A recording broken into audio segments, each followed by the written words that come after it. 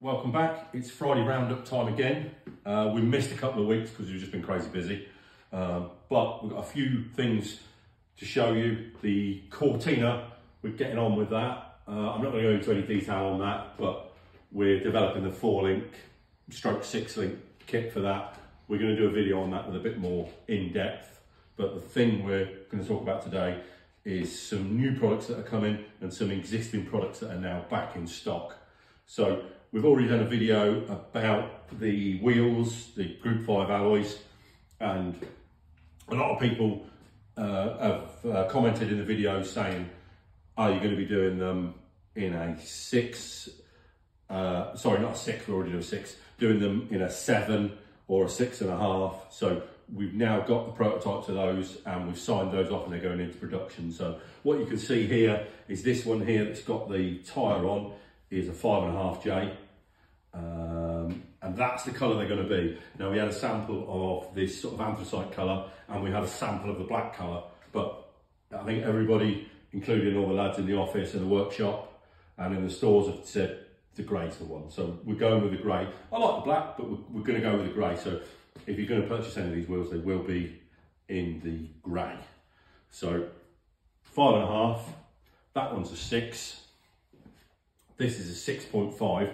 Now, a lot of companies don't manufacture a 6.5, and I'm not sure why, because on a Mark One Cortina, a 7's a bit too big, and a 6, potentially, you could go a little bit wider. So, um, we're hoping that these are going to go on a Cortina fine.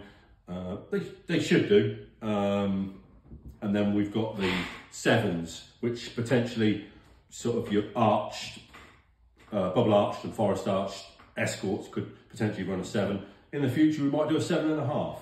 Uh, but these are all now in production. They'll come with a center cap. We do a flat cap and we do that raised cap to miss the front um, dust cover. So um, they're, they're all in production. Lots of people are asking how much you're going to be. We haven't finalised that yet, um, but we're sort of we're getting towards the end of that now. And then one other product that has been out of stock forever um, is the Mazda MX-5 to Ford adapter plates.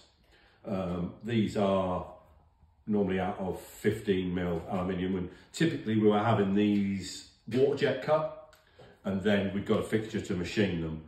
Uh, but the price of aluminium sort of gone through the roof a little bit and we've struggled with the quality on a, couple of the manufacturers that were doing them for us. So we've now decided that these are now made completely out of billet.